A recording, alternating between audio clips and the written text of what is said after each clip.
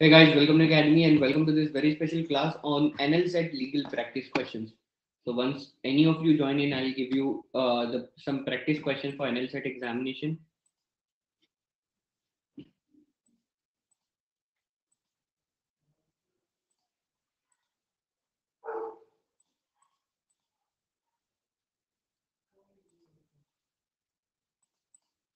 Hi Krishna, welcome to the class. It seems that we are the only people in the class today there are not a lot of people writing NL set. So will you be writing NL set? I know you are going to write it, right? So we will be practicing a few questions in today's class. I'll be giving you some uh, answers to write and based on what you end up writing, I'll uh, evaluate your questions. Okay. Hi Alpesh, welcome to the class. All right. Yes guys, this is my introduction. My name is Javikumar. I'm an an academy educator. I've been an aspirant like all of you are. I graduated from National Law School, Bangalore. And at an academy, if you're uh, if you want to use any code, you can use the code Divikumarka. And another important news that I'll be coming live to Unacademy World Delhi Center on 26 March 2023 at 4 p.m. So if you any of you are interested in meeting me, uh, you can come. You're more than welcome next Sunday for meeting me at this particular place. All right? Yes. And right now on Unacademy, you're getting up to 30% off. So please use the code Divikumar Garg and you will be able to get that discount. Satyam, if you want any uh, assistance, you can call on this number. All right. Shuru kare class ko. How many of you are writing an एनसेट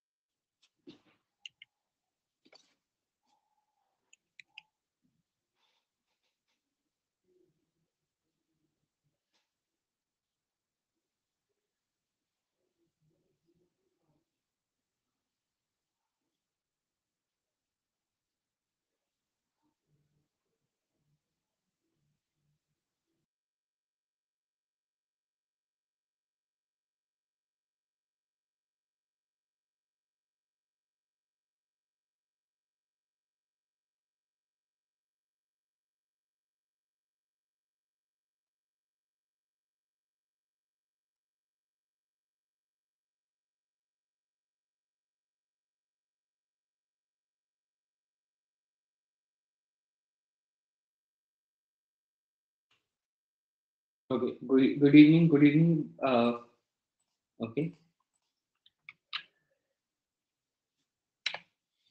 So I'll be uploading the sample question that NLSIU Bangalore had uploaded. मैं वो upload करूंगा अभी और आप लोगों को उसको solve करना है ठीक है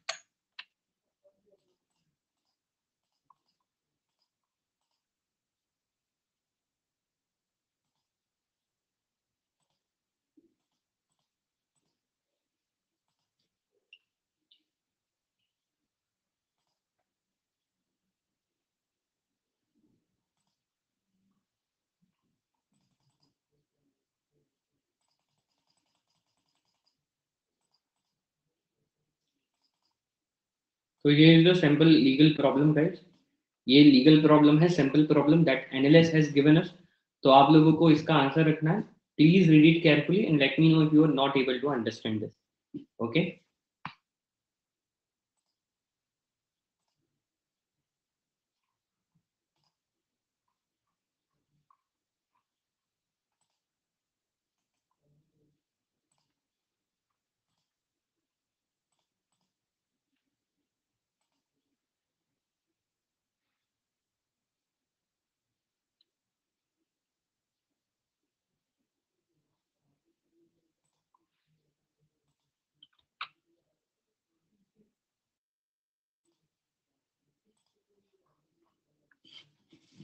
नहीं कुमकुम ये एनएल सेट की क्लास है क्लैट वालों के लिए रेलेवेंट नहीं है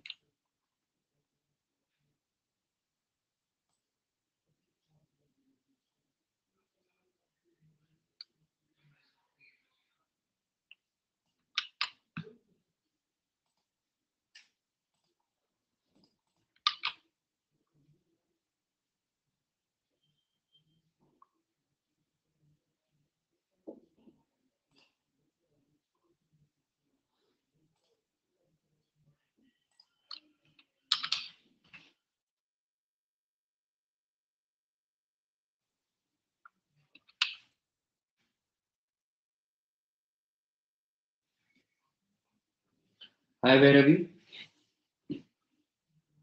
ये क्लैट के लिए नहीं है दोस्तों this not for CLAT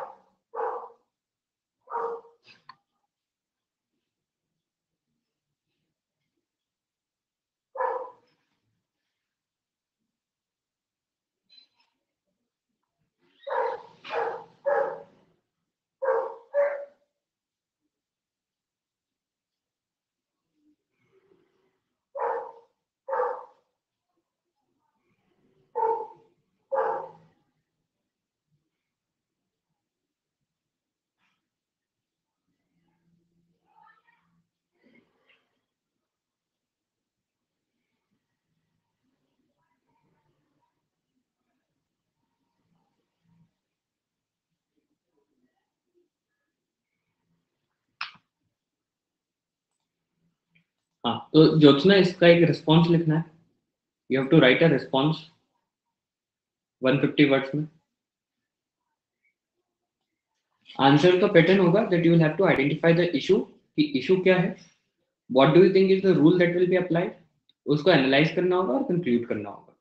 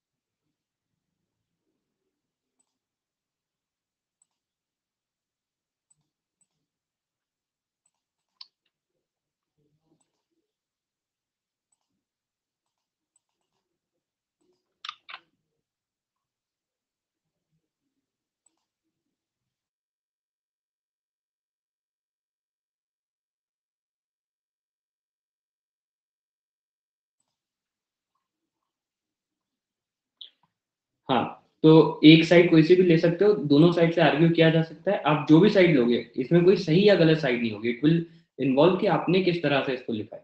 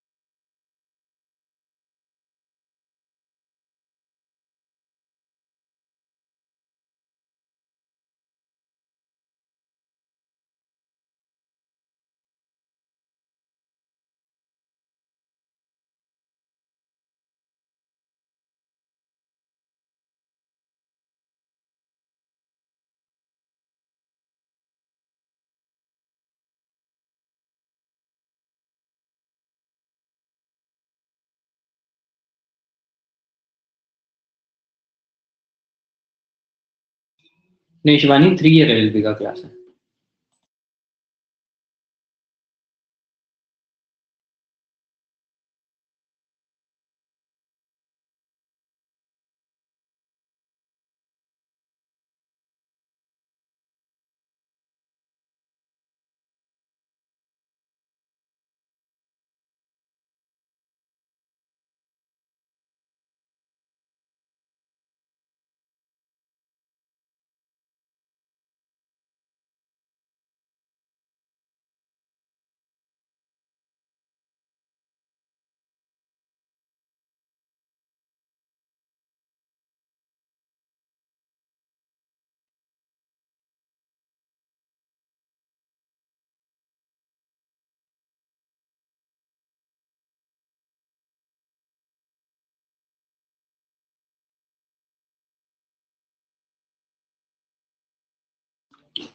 hi Priyanka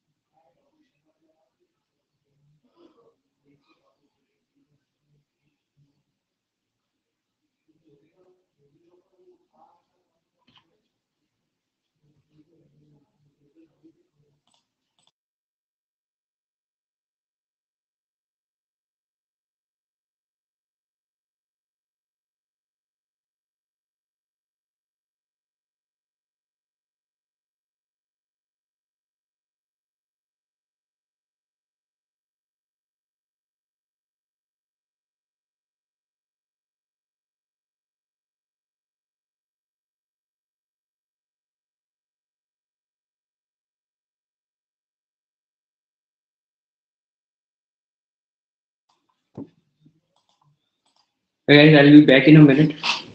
Water.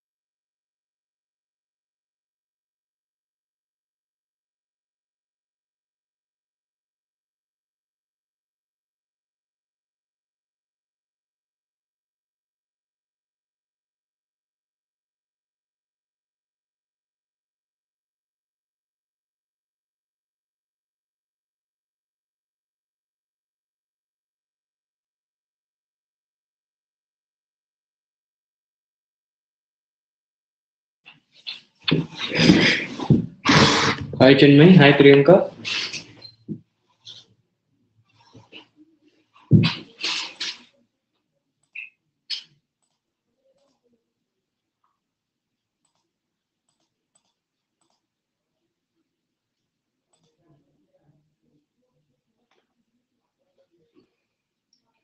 Chinmay, are you appearing for NLSET?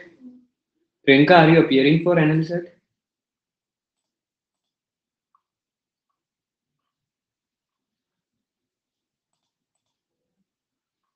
So uh, please uh, write a legal response to this question. Chinmay, then this class will not be relevant for you. Okay.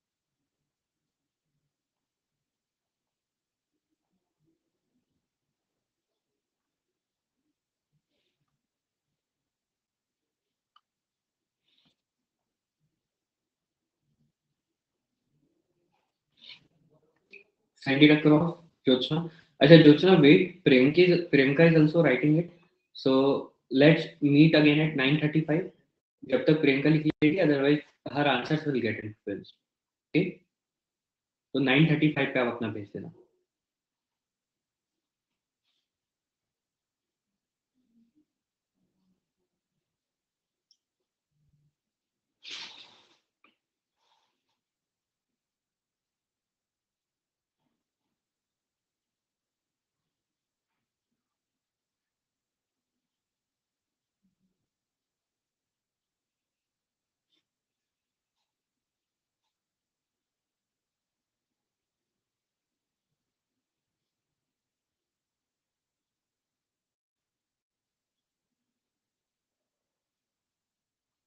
me, you will have to think a little faster because it's just one month to the exam.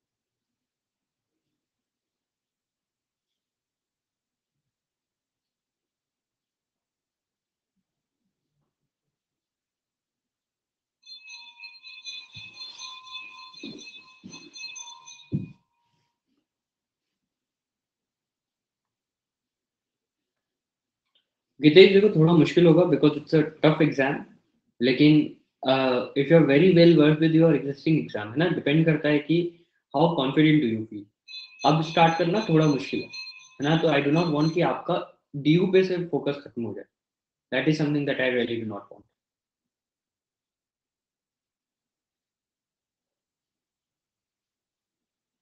हाँ तो उसी पे रहने दो अब start करना थोड़ा मुश्किल हो सकता है नहीं प्रियंका आपको 150 वर्ड्स का रिस्पांस लिखना होगा प्रॉपर एक रिस्पांस लिख दो प्लीज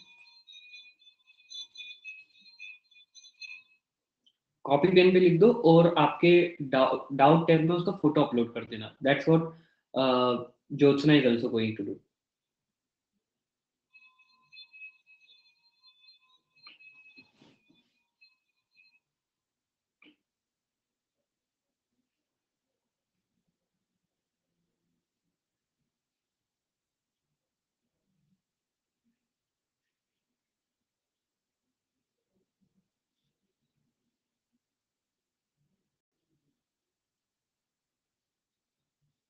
हाँ जो yes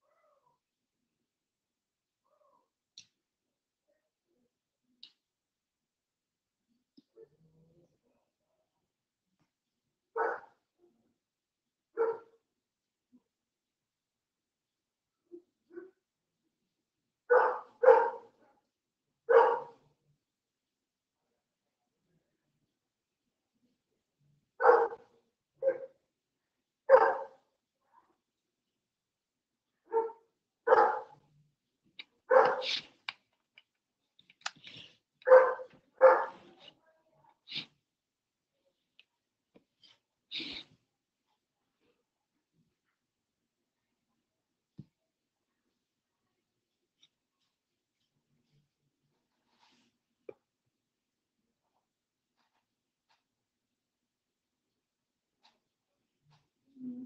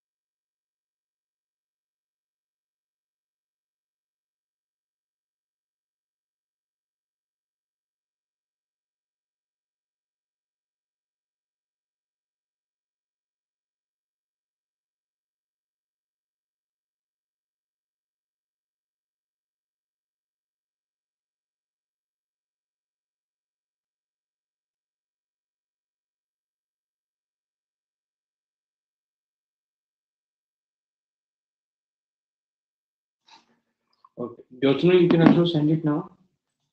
Hi, Vishali.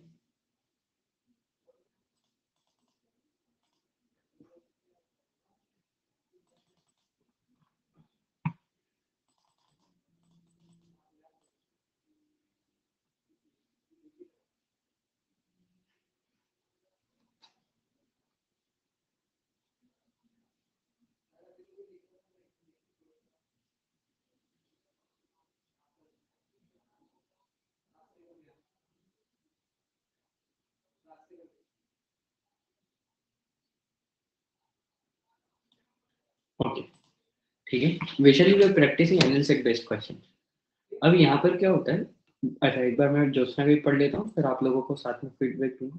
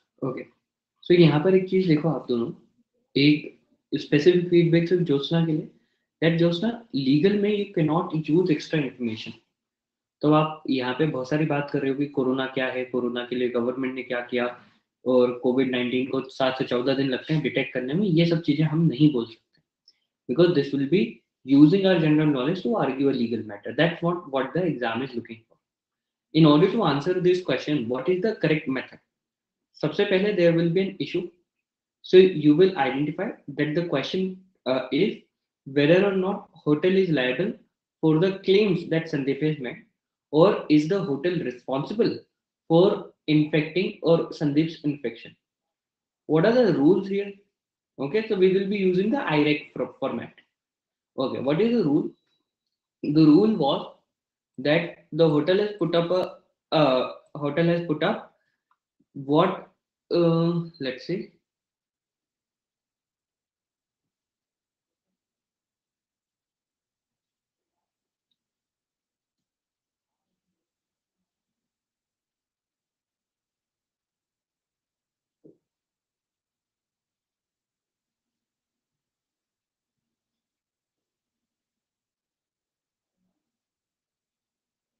okay so hotel said that you cannot wear mask Now you should understand the difference between allegations and evidence. यहाँ पे लोगों ने मास्क नहीं पहना था ये एलिगेशन है ये संदीप का क्लेम इसको हम नहीं कर सकते तो यहाँ पर क्या है कि रूल में क्या हो जाएगा गवर्नमेंट ने लॉकडाउन इम्पोज कर दिया था गवर्नमेंट ने इंटरस्टेट ट्रेवल को बैन कर दिया था और होटल ने क्या करा था होटल ने अपनी तरफ से लोगों को बोल दिया था मास्क वेयर मत करो अब एनालिसिस में क्या होगा अब यहाँ पे एनालिसिस में हम बोल सकते हैं it turns out that Sandeep was infected. Sandeep could only have gotten infected if there was some negligence on the part of the hotel. And because ये भी हमको पता है कि ऑलरेडी जो स्टाफ था होटल का वो भी इन्फेक्टेड था so the staff in itself is infected then it means कि फूड के थ्रू ट्रांसफर होता था तो इसके कारण हम बोल सकते हैं that the hotel hotel was liable है ना तो इस तरह से हम इसको आंसर को लिख सकते हैं यहाँ पर क्या करेंगे हम we will only use the fact that were given to us but we will be using it in a structured manner हम स्ट्रक्चर में उसको लिखने वाले हैं आया समझ में आपको Jyotsna and Priyanka but good attempt both of you है ना प्रियंका आपका थोड़ा ज्यादा छोटा था और जोचना आपका थोड़ा ज्यादा बड़ा था तो be mindful of the limit है ना जैसे अगर एक एग्जामिनर है उसको उसने 150 वर्ड दिया तो 150 में खत्म करो 120 से 170 हो सकता है इससे ज्यादा कम मत करना है ना तो एग्जामिनर को पता होता है कि कब 150 खत्म होगा generally whenever you are writing ना तो आपको एक अंदाजा होना चाहिए जो ना कि एक लाइन में आपके कितने वर्ड्स होते हैं उसके हिसाब से आप जोड़ सकते हो जैसे आपकी इस लाइन में one two three four five six one two three four five six seven eight nine one two three four five six seven eight तो आप एवरेज ले लो कि आपके इसमें सेवन वर्ड्स होते हैं सेवन पॉइंट फाइव होते हैं तो आपका वन फिफ्टी वर्ड्स कितने में होगा ट्वेंटी लाइन्स में तो मेरे को ये लग रहा है ट्वेंटी थोड़ा ज़्यादा बड़ा हो गया था तो आपका ट्वेंटी लाइन्स का होना चाहिए ऐसे ही स्नेहा आप भी एक बार जोड़ सकते हो मेरे को लग रहा है आपके इसमें थोड़े कम होते हैं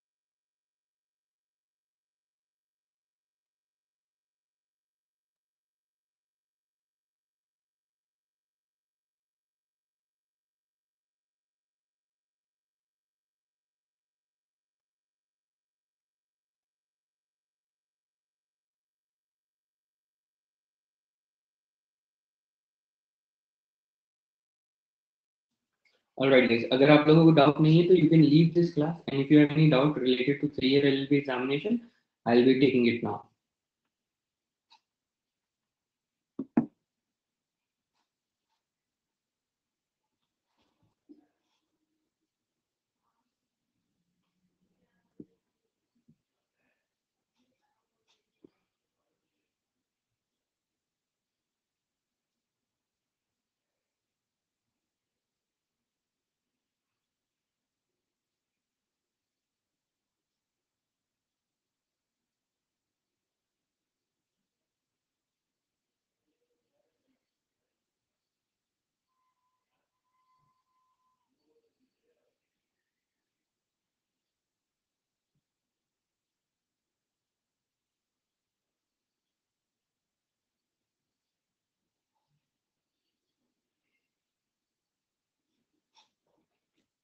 यार एक क्वेश्चन को सॉल्व करने में पंद्रह मिनट लग दस मिनट लगने चाहिए दस से ज़्यादा नहीं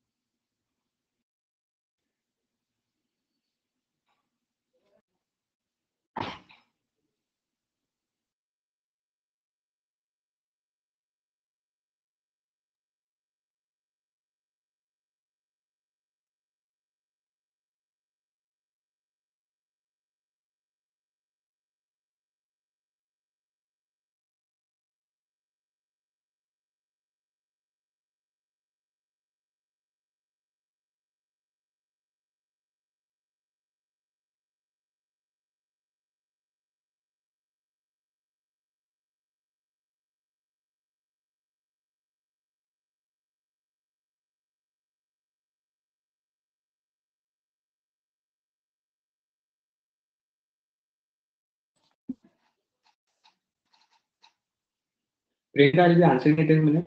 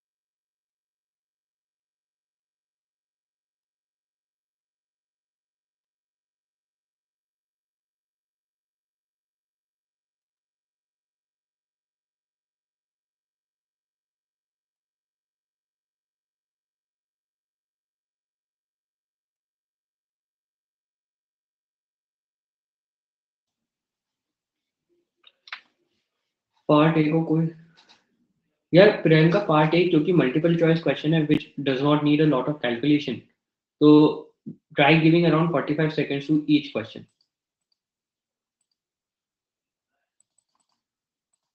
ठीक है जो मैं इसको भी देख लेता हूँ एक बार